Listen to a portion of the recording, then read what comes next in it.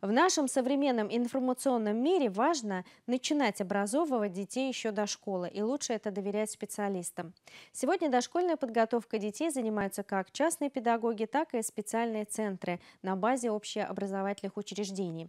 Они развивают у малышей логическое мышление, а также творческие познавательные способности. А подробнее об этом в следующем сюжете. Одно из учреждений, занимающихся дошкольным образованием детей уже более 20 лет, это Центр «Гармония», который на современном уровне помогает родителям и их детям в полноценном развитии ребенка при помощи различных программ образовательного процесса. Педагоги первостепенное внимание стараются уделять духовному, эстетическому и познавательному развитию. За это время работы мы выпустили достаточно большое уже количество детей, которые приводят уже своих детей сюда на обучение.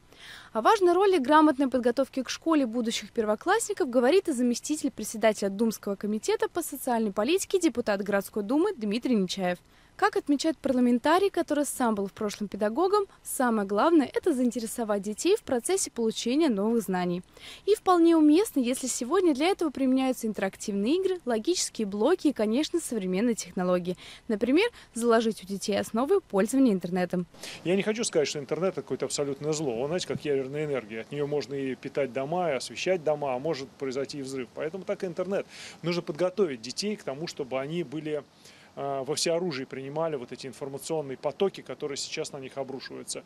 С учетом юного возраста учеников важно, что на протяжении всей учебной программы идет психологическое сопровождение процесса. Специалисты тщательно отслеживают динамику развития детей и индивидуально подбирают программу для ребенка с учетом его особенностей.